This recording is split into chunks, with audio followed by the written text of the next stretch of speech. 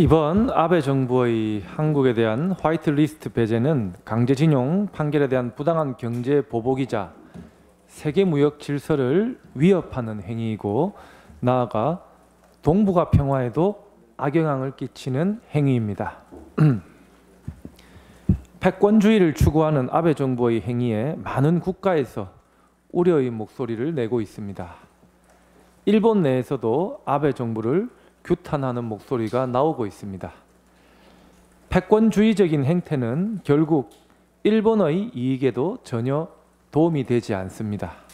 아베 정부는 국제사회의 우려를 경청하고 부당한 경제 침략 행위를 하루빨리 철회해야 할 것입니다.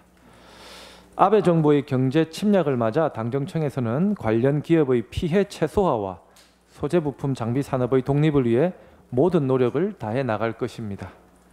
국민 모두가 한 마음으로 이번 어려움을 극복해 나간다면 우리의 경제 체질을 강화하는 전화 위복이 될 수 있습니다. 국가적 어려움을 맞아 야당에서도 뜻을 모아 주시기를 부탁드립니다. 지금 우리끼리 싸우고 있을 때가 아닙니다. 저희 더불어민주당에서는 아베 정부의 경제 침략 행위에 대해 단호하게 대응해 나가면서 문제 해결을 위한 외교적인 노력도 병행해 나가겠습니다.